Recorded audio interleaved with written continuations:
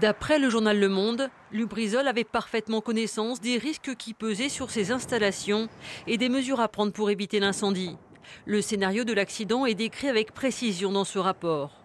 Lors d'un incendie, les conteneurs intermédiaires en plastique fondraient rapidement et le liquide combustible et ou inflammable se répandrait sur le sol, créant comme un grand feu de piscine. Et c'est exactement la situation à laquelle ont été confrontés les pompiers en arrivant sur le site. On a été confrontés dans un premier temps à une première explosion, ce qui nous a obligés à reculer dans un premier temps, puis une deuxième explosion.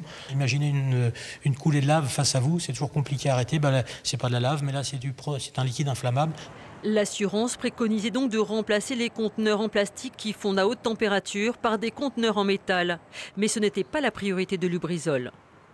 La probabilité d'avoir un départ de feu dans une zone comme ça est tellement faible qu'on on, sait ce qui se passe si les conteneurs plastiques sont exposés à un feu. Pour autant, le feu est improbable. Donc on prend le risque. Donc je ne dirais pas les choses comme ça, mais euh, ces conteneurs-là étaient utilisés largement, le sont encore aujourd'hui, et nous les utilisions comme d'autres. Lubrizol affirme qu'ils ont investi 100 millions d'euros depuis 2008 sur la prévention incendie, notamment suite à des préconisations de l'assureur. La priorité est allée sur le site de production et non de stockage. Tout est un calcul de risque. Les rapports antérieurs semblent avoir déjà euh, largement euh, tiré la sonnette d'alarme. Et euh, ce qu'il faudra aussi rechercher, c'est ce qu'il était possible de faire entre le moment où Lubrizol a reçu ces documents et euh, le moment euh, de l'incendie.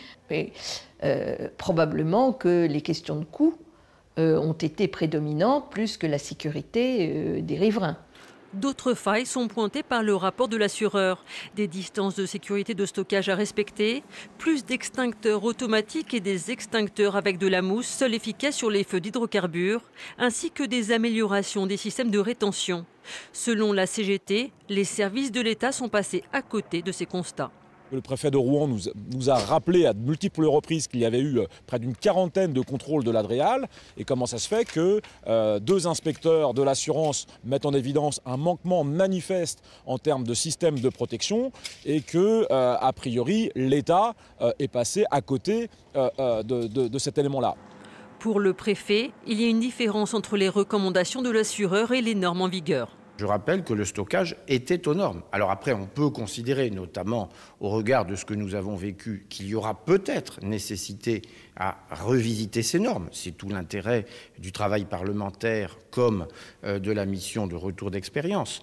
Mais en l'état du droit, il n'y avait pas d'illégalité dans la tenue de ces stocks. À ce jour, sur le plan judiciaire, le parquet de Paris a ouvert une enquête pour atteinte grave à la santé, la sécurité ou la dégradation de l'environnement.